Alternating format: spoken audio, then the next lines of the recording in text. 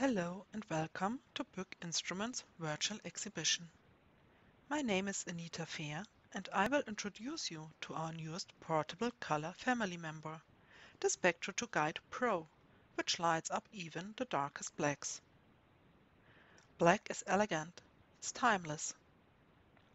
It is a design element.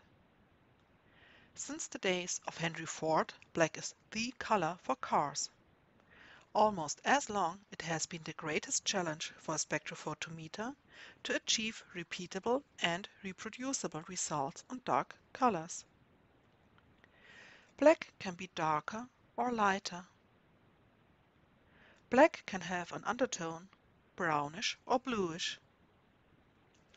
Black absorbs all visible light. Consequently, the emitted light that can be detected by a spectrophotometer is at an extremely low level. In addition, the low signal is influenced by the so-called noise of the electronic instrument components. Thermal noise is a natural consequence of the random motion of free electrons and ions. As the emission is below 1%, the signal-to-noise ratio is a challenge for the accurate measurement of dark colors. Therefore, the Pro version offers a jetness mode with a higher light intensity level. Now the signal level is significantly higher than the instrument noise. Reliable results can be achieved even for deepest black. In summary, a reduction of the noise and an amplification of the signal leads to an improved repeatability and inter-instrument agreement.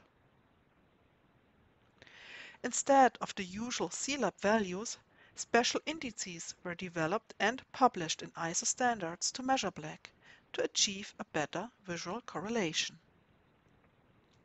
MY describes the blackness of a sample independent of the hue or undertone.